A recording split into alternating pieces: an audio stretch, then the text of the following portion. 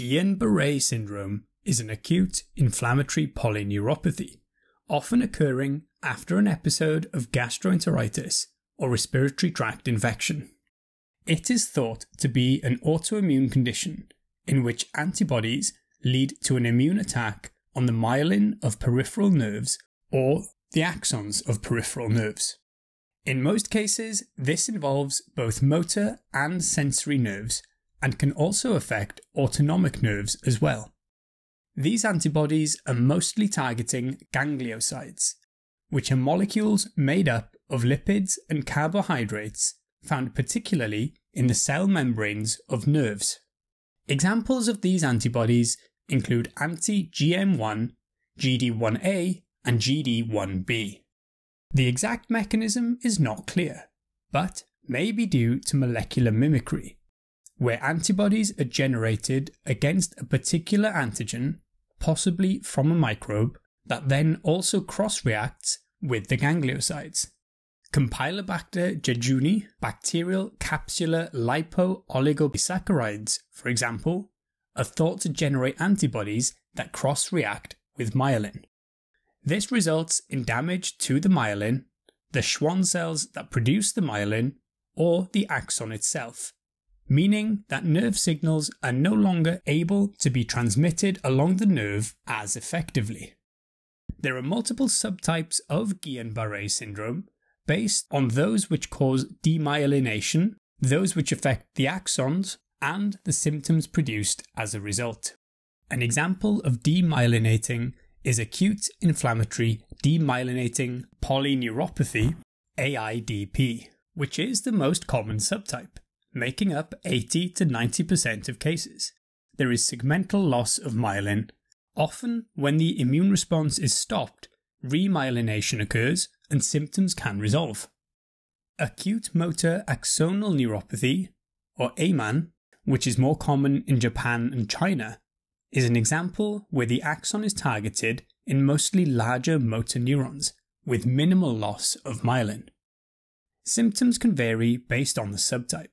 For example, AIDP involves both motor and sensory symptoms, while AMAN does not have any sensory loss and instead mostly features motor weakness. The main range of clinical features in AIDP include weakness, their typical presentation features a progressive symmetrical weakness termed ascending, meaning it begins in the distal and moves proximally, typically beginning with the legs. This process is rapid and progresses over days, leading to flaccid paralysis, meaning paralysis with reduced muscle tone, as opposed to spastic paralysis where tone is increased. Most cases reach maximum severity within two weeks and progression of weakness beyond 4 weeks is more consistent with a chronic demyelinating process. Following this stage is a plateau, usually lasting several weeks, before symptoms begin to resolve. The facial muscles can also be affected, and this is the most common cause of acute flaccid paralysis in children. Commonly, there is paresthesia affecting the hands and feet, alongside the weakness, although usually starting before it. Pain is also a common symptom, which is mostly in the back and legs, and particularly in children. Again, this may precede the motor weakness. Between 20 and 30% of patients will also develop respiratory distress as a result of involvement of the respiratory muscles, requiring ventilation. The majority of cases will have absent or minimal reflexes, primarily affecting the ankle and knee, although rarely hyperreflexia can also occur.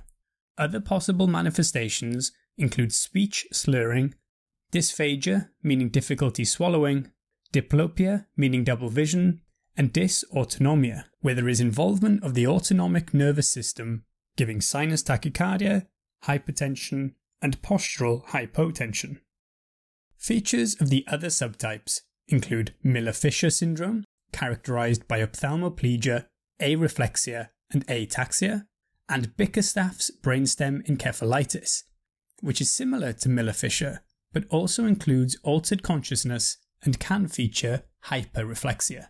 AMSAN, or acute motor and sensory axonal neuropathy, also includes axonal loss of sensory nerves, and acute pan-dysautonomia, presenting with autonomic features like diarrhea, ileus, vomiting, abdominal pain, and urinary retention, as well as disturbance in heart rate and blood pressure. Another type is pure sensory, characterized by acute sensory loss and sensory ataxia, and pharyngeal cervical brachial type, featuring acute arm weakness, swallowing dysfunction, and facial weakness.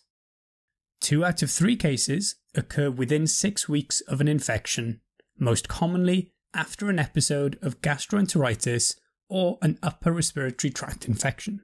The most commonly identified infectious triggers include Campylobacter jejuni in up to 39% of cases, cytomegalovirus in up to 22, Epstein-Barr virus in up to 13, and Mycoplasma pneumoniae in around 5%. There have also been cases associated with COVID and Zika virus. Overall, Guillain-Barré syndrome is slightly more common in males than females, estimated to be around 1.78 to 1, with a mean age of onset of 40 years. As part of the diagnosis, nerve conduction studies and electromyography are performed to confirm the presence of a peripheral neuropathy, and analysis of the cerebrospinal fluid is also valuable, the classic finding being an elevated protein level with a normal cell count, called albuminocytological dissociation. This can take time to develop, and 1 in 10 cases never develop this finding. CSF analysis is also important in ruling out other infectious causes. Bloods can be taken looking for particular anti-ganglioside antibodies, but a negative result doesn't rule out Guillain-Barré syndrome. Culturing or serology for the specific triggering infection is not routinely done in clinical practice, and bedside spirometry is done regularly, typically every six hours, due to the potential for rapid progression and involvement of the respiratory muscles. The risk of this is nearly 18 fold with bulbar dysfunction and 9 times with the inability to cough, and is also associated with the inability to lift the head from the pillow.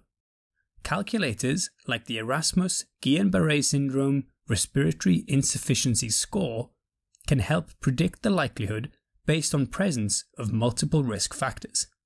Treatment involves a combination of supportive care with disease modifying medication, with a multidisciplinary approach including rehabilitation. Supportive care can involve mechanical ventilation, as we mentioned, and blood pressure as well as cardiac monitoring is usually done in cases of dysautonomia. Episodes of hypotension can be treated with IV fluid boluses, while hypertensive episodes may be treated with short-acting agents like labetalol or nitroprusside.